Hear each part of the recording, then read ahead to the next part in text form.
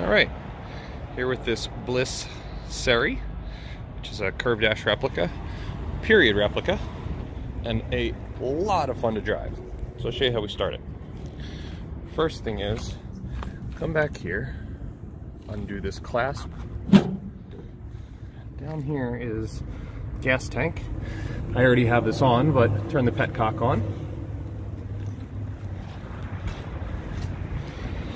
Under here, make sure your battery's plugged in. Just have it on a quick connect. But there's no draw or anything on it, but you just have it on there anyway. It doesn't seem to drain if you leave it plugged in. Beautiful pipe.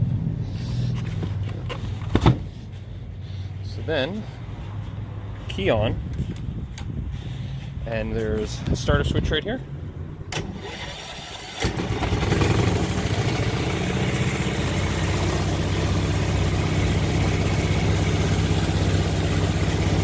This is lights, starter. This would have been turn signal. I think there should have been a bulb up there. And then here we've got shut off. And of course, and a secondary hornet.